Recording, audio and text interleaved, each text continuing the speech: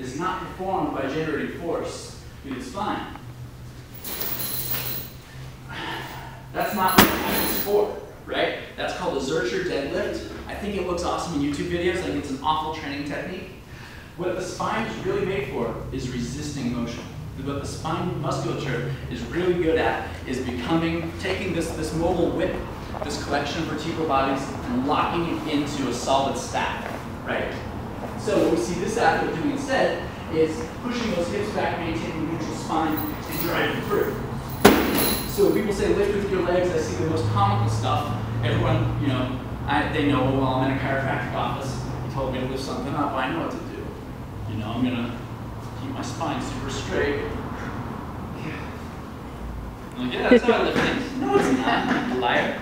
Um, you can keep your spine straight and have dynamic hips at the same time. It's not hard to do. Just throw your hips back. You know, you're gonna knock, what I tell my patients is you're gonna knock the lamp off the table. Every time you're at a party, you pick up your car keys, boom, slam into the ground. Don't fight that guy at his parties. That's, but that, that's how it's done. You don't move your spine, you move through the hips. You bring that chest parallel to the floor. Uh, the reason why I bring up the point of flexibility versus stability is um, more research on that is, is very relevant. Um, it would appear that uh, spinal flexibility is not helpful. It's not useful in injury prevention. For the same reasons that I'm describing. Um, really, your capacity to reach a new end range will just bring more of your tissues to tension.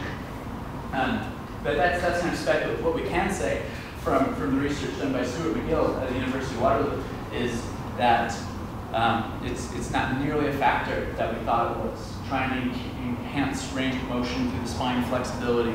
Um, what's far more relevant is the capacity to be able to lock into place and to have balance. So imbalanced flexibility is a precursor to injury. So if you notice that you're able to go one way way more than another, well that's worth spending a little bit of time on. But it's not a worthy goal just to, for the sake of itself, try to enhance lumbar flexibility. Yeah. Okay, interesting. I'll show you what I like to do for, um, for a warm-up. In addition to that little rotation move there, um, when I was mentioning, um, when I was mentioning I, I, like to work some extension, spinal extension into a warm-up, and um, uh, rotation that's just shy of the end range. Um, I do this before every time I, I work out. I do a, a scorpion, scorpion pose. Um, do you guys know which one I'm talking about? Uh, I didn't invent it. You're, you're going to recognize it once I start doing it. I want everybody to lie face down, form a T. Bring one foot to your opposite hand. It's okay if it doesn't reach the hand. Just go toward the opposite hand. So, once you do that, you've established some extension of the low back, some rotation that should be very well short of end range. Now to take some of that rotation out, and have your hands straight down, that looks pretty tough on your shoulder. There you go. Now once you look into your other hand, yeah, from the side, the, not the side that your foot's going to, look into your hand on the side that your foot came from. So you'll be looking right here. And now keep your, your face glued to that hand, raise that hand up in the air. Go until you feel your opposite shoulder and chest come to tension and, and freeze you up there. So I'm bring this arm out so you're kind of a T shape here. There you go. You don't have to hold this one long. I think of this kind of as a moving, moving pose. And now switch sides. Get head bound back down. Now you're a T again. Bring your other foot to your other hand.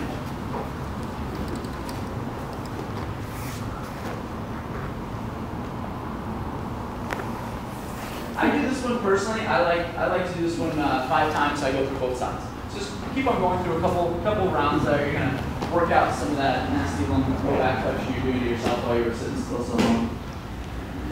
Do you want to try to be a little closer to this when you go back? Well, there would be a little bit because that's what's going to get that um, that extension moment going. Yeah. Yeah.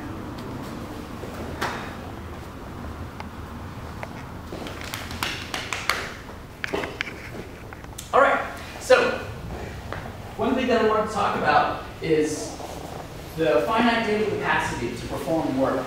Okay, every tissue, like we were talking about, I kind of alluded earlier to how your tissues have that sweet spot where they're getting like their optimal amount of stimulus to, to enhance the growth and